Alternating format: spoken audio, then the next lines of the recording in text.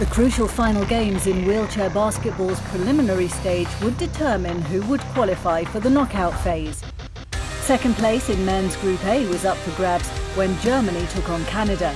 Initially, there wasn't much to choose between them, but then the North Americans stepped on the gas, accelerating to a 22-point lead. The Germans made up some ground, but not enough, and Canada emerged as 68-52 winners.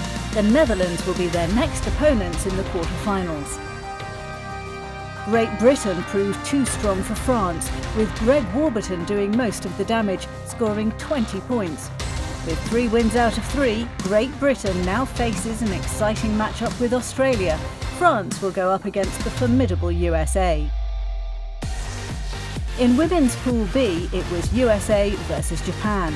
The Americans, with a win and a loss behind them, established a 10-point lead early in the first quarter, and the Japanese couldn't fight their way back. The USA emerged as 62-52 winners and will meet Great Britain in the quarter-finals.